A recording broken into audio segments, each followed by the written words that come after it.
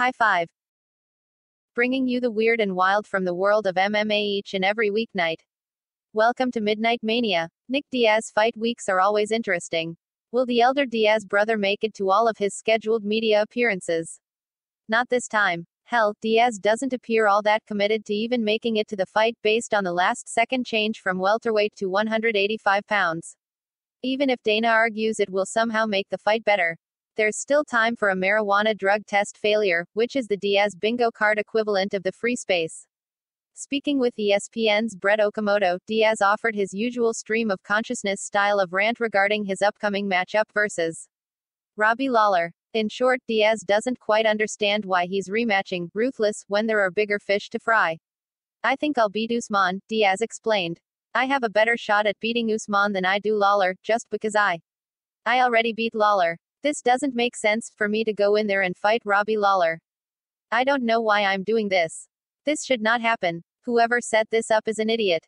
I don't know why I'm doing this, why this happened. I should be fighting Kamaru Usman, and that's it.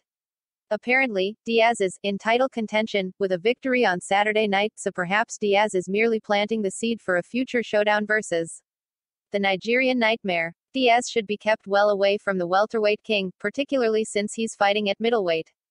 But money talks, and even now, few move the needle further than Nick Diaz.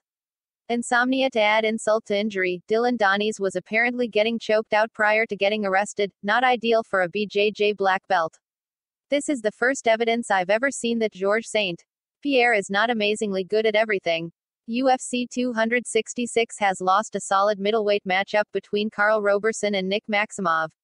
A pair of legends training together, does Jon Jones' goal of being as gigantic as possible strike anyone else as a terrible idea? Birthday body shots are a time honored tradition in the combat sports world. A bunch of clips of Alexander Volkanovski just charging through people on the rugby pitch.